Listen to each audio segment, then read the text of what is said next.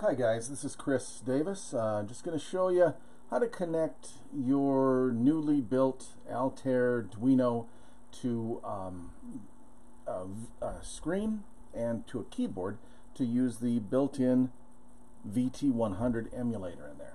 Um, there's some confusion. Um, sometimes the instructions are not quite so intuitive. Uh, we're using some really old computer technology here. Even though it's emulated, it's uh, doesn't work the way computers do nowadays. So what we're going to do is, well, first let me show you. I've got a uh, monitor I purchased at Amazon. I'll have a link below. Uh, it's just a cheap little uh, security monitor. It's got a variety of inputs. It's got composite input, VGA, HDMI, and it's a nice uh, four to three aspect ratio like the old time monitors, and it's very inexpensive. Uh, here for the keyboard, I have a PS2 keyboard I got from Amazon. This was literally $11. Um, so I, I would say most keyboards will work with this system, but uh, some of the, well, I, I can guarantee you, you're not going to get a wireless keyboard to work with this. Um, and some of the uh, USB keyboards, even though you might have a PS2 adapter, um, some of them are just not quite wired to work with a with a, a PS2 input. So, you know, like I said, this is only $11 on Amazon. Uh, I've tried a few other keyboards with USB adapters, and they've all worked too. Um, so here we go. We're, we're in a powered off state, so we're going to turn the power on. But before we just flip the switch on, well, actually, let's try it. We're going to flip the switch on, and you see everything lights up, and uh, the monitor should be starting up here pretty soon because there is power being applied to the VT100 emulator, but you're not going to be able to do anything.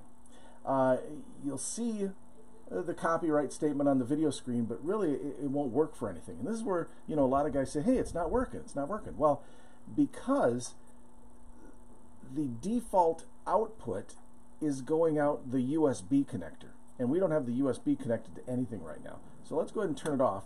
And what we're going to do is we're going to flip up switch zero here. Uh, so that's a binary or a, a, a octal or hexadecimal. That's a one. Um, and we're going to hold up the deposits toggle while we turn the power on. What that does is that tells it to load configuration 1 as we're powering on. And if you have the SD card that was included with your kit, if you have that inserted in the back, it will load configuration number 1, which is set to output to serial port 1, which is our VT100 emulator. So I'm going to hold up deposit switch right there, and I'm just going to hold it up. I'm going to keep it held up while I turn the power on. Okay? And once the power is on, we're going to release the deposit switch. Now, a lot of guys will type on the keyboard and go, well, well, it's still not working. Well, that's because this is not a modern computer and there's nothing running. Right now, uh, we've got power to the VT100 emulator, we've got power to the Altair Duino, but there's no program running. So that's why you're not going to get any response from the keyboard. Um, so one of the things that I like to do to test this right away is I'll flip switch 12 up, going to put switch 0 back down. So 12 up uh, and nothing else up. And then I'm going to push down aux, the uh, aux 2. And what we're going to see, we see the list of disk images pop up. So you see right now we are getting data on our screen. Uh, I'm to, if I pop up 12 and 13, push aux 2 down, we're to get the list of hard disk images. Uh, another thing we can do is we can turn those off and we can lift aux1. Uh, the default for lifting aux1 is to launch Microsoft 16K Basic. So we do that and you'll see right there on the screen it's asking memory size. We'll just hit enter uh, and we will hit uh, for line printer an uppercase O for Okidata. It has to be uppercase enter. And uh, now we are running basic. Um, so there we go. So now we we can see that the data is going out serial port 1 and coming in serial port 1, and that is the VT100 emulator on serial port 1. Now, what if you always want to use it this way? You don't want to have to deal with, you know, holding the deposit switch up while you turn it on.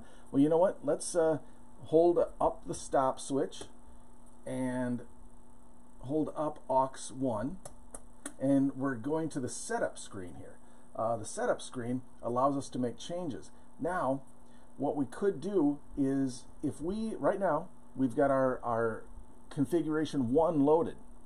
Now, if we saved this, if we hit uppercase S to save it, if we saved it as configuration 0, that's what would always run every time we turn on this device. Right now, configuration 0 has uh, the data going out the serial port, or the, yeah, the, I mean, I'm sorry, the USB port.